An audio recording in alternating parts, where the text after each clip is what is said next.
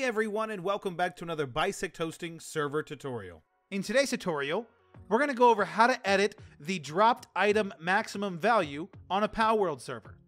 Before we get started, dropped items will also decay in time. If you want to learn how to change the drop item decay, I'll have a video linked in the description.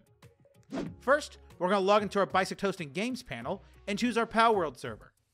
Next, we're going to choose the Stop button to stop the server. We will then go to the Config Files drop-down menu and choose the Server Settings file. In here, we're going to look where it says Drop Item Max Num, and after the equal sign, we can enter a number between 0 and 10,000. Once we've changed that, we can choose the Save Content button.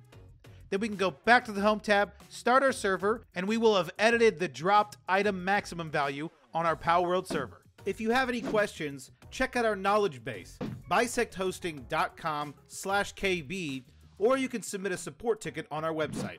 If this guide was helpful, make sure you hit that like button, subscribe for more content like this, comment down below which guide you would like to see next, and we'll see you around.